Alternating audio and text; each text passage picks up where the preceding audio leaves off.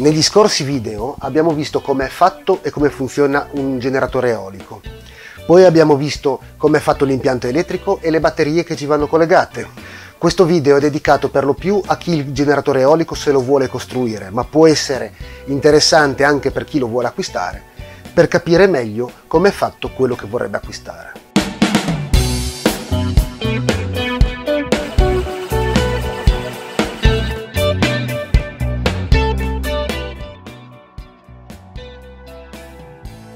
Come ho già accennato in uno dei primi video di questa serie, costruirsi il proprio generatore eolico conviene soltanto in determinati casi. Tanto per cominciare, se si hanno le abilità manuali per farlo. Certo, tutti o quasi possono imparare a fare tutto o quasi, ma imparare durante la realizzazione di un generatore eolico può essere costoso e frustrante. Quindi, se dovete chiamare un elettricista per cambiare una lampadina o sostituire la spina di un elettrodomestico, lasciate stare. E la parte elettrica non è nemmeno quella più complessa. Per realizzare la parte meccanica è necessario avere qualche nozione di costruzioni meccaniche, meglio se con un po' di esperienza pregressa. Fatte queste premesse si può iniziare.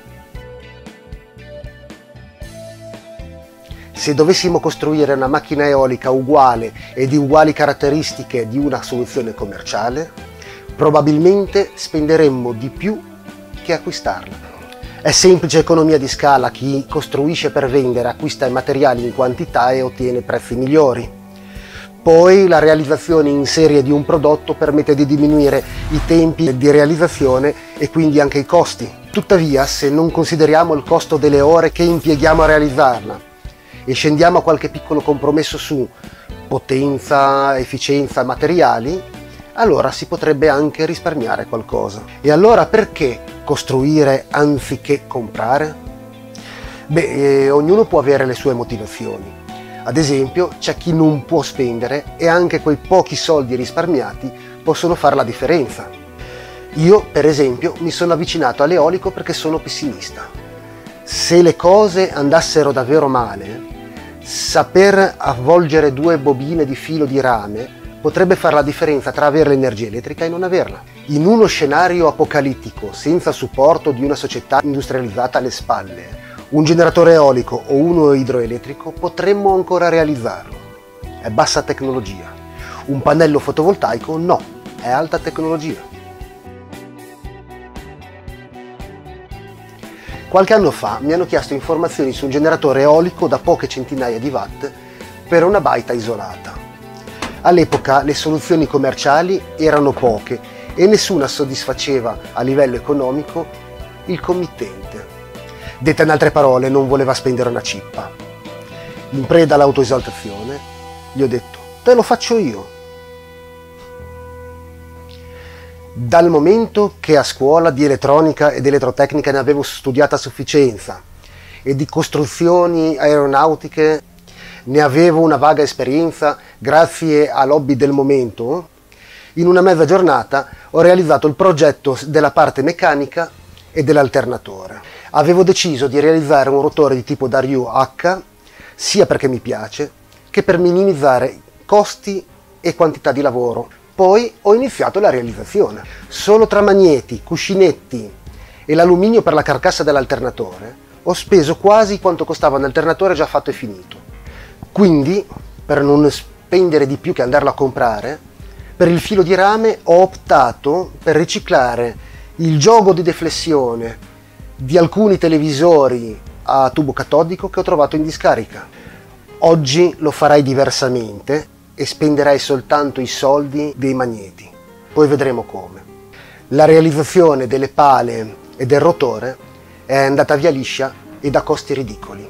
Alla fine le pale di questo tipo di rotore non sono altro che delle ali fatte di polistirolo e rivestite in vetroresina, tecnica ben nota agli aeromodelisti. Il rotore da Ryu H non ha bisogno di freni elettromagnetici. La sua conformazione aerodinamica gli impedisce di andare fuori giri. Infine il regolatore di carica è stato sostituito da un gruppo di continuità, un UPS da un migliaio di watt, comprato per pochi spiccioli su eBay. Il carico di protezione?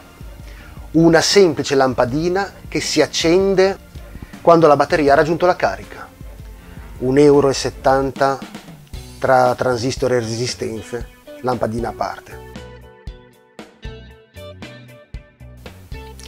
La via più economica per realizzare un generatore eolico è quella che passa per il riciclaggio di quello che si trova in casa, in discarica o per la strada. Alternatori e dinamo, per esempio, possono essere sostituiti da motori elettrici.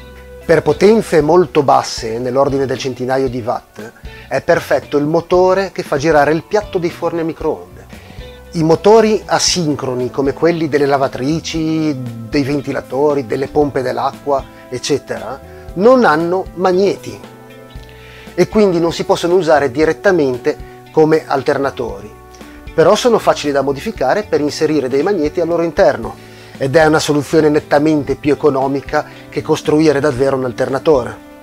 I motori stepper che si trovano nelle stampanti 3D nelle macchine a controllo numerico sono motori a magneti permanenti e con un po' di fantasia si possono utilizzare come generatori. I motori in corrente continua, quelli con le spazzole, che si trovano nei trapani avvitatori, nelle macchinine, giocattolo, eccetera, si possono utilizzare come dinamo. Lasciate stare invece i motori di tipo universale, quelli eh, per esempio che si trovano nei trapani con il filo, che sono motori che possono sì funzionare sia in corrente alternata che in corrente continua, ma sono motori senza magneti permanenti e sono fatti in una maniera che è difficile trasformarli per aggiungere i magneti. In generale tutte le macchine elettromagnetiche sono reversibili, però alcune sono più facili ed economiche da convertire. Il riciclaggio e il fai da te trovano la miglior convivenza nel microeolico. Per microeolico si intendono quei generatori che hanno una potenza da 0 fino a qualche centinaio di watt. Per alcuni il limite è un kilowatt di potenza. Al di sotto del kilowatt è microeolico, al di sopra è mini eolico. Per me il limite è più verso i 500-600 watt. Ad ogni modo, se oggi dovessi costruire un generatore eolico da un centinaio di watt, andrei dai cinesi sotto casa e comprerei un ventilatore a piantana da 9,90 euro. E poi potrei scegliere se riciclare un motore di quelli da microonde oppure aggiungere dei magneti al motore interno del ventilatore. Nel primo caso non spenderei nulla. A cosa potrebbe servire un generatore eolico del genere? Beh, per esempio come carica batterie da campeggio. Per una potenza un po' superiore potrei utilizzare un ventilatore di quelli da soffitto. Molti di questi ventilatori utilizzano motori a carcassa rotante facilissimi da trasformare in alternatori e danno circa un metro di pale già fatte e finite. Per potenze fino a pochi kilowatt, l'ho già detto, rotore tipo da Ryu e motore da lavatrice. Bene, anche per questo video è tutto. Nel prossimo video andremo a vedere come e perché integrare l'eolico con altre fonti di energia. Se il video ti è piaciuto, un like, un commento, iscriviti al canale e alla prossima!